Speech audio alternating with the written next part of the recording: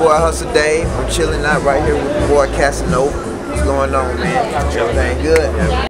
All right, all right. We over here at the Sean Garrett Party Joint now with doing the real big BET Awards in town this weekend. Yeah. Casa Nova, tell me what you got working on, what you doing. Uh, right now, I'm just doing a whole bunch of writing. Uh, just penned a song for Lloyd. Uh, sending to his management. They like it, so it might be my first placement. I got my single out right now with Haitian Fresh called Sex Fiend. Shout out to Haitian Fresh. I got Freddie P and Bass Bunny on the remix from the band. Uh, just right now doing a lot of writing and we shoot the video next month. So uh, Up Up in the Way Music Group is the name of my label. So I'm just working hard, working hard.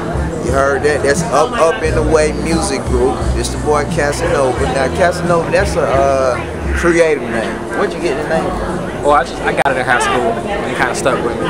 So I just found a way to really you know switch it up and uh, make it marketable. Yeah, so I just kept it. And it's for the ladies. So, you know. Okay, okay, I feel you. As being a, new artist, how do you think that your music is different from every other music that's out there? Um, you just gotta basically uh, uh, find what's you. Uh, nowadays, everybody ain't really too different. Right, Uh, right. Find what's you in your style. Find what's you in your voice. Find what's you in your writing. And I write my own music. I produce my own music. Uh, and I do pretty much everything on my own start now. Being me. It's more difficult. That? Said writer, producer.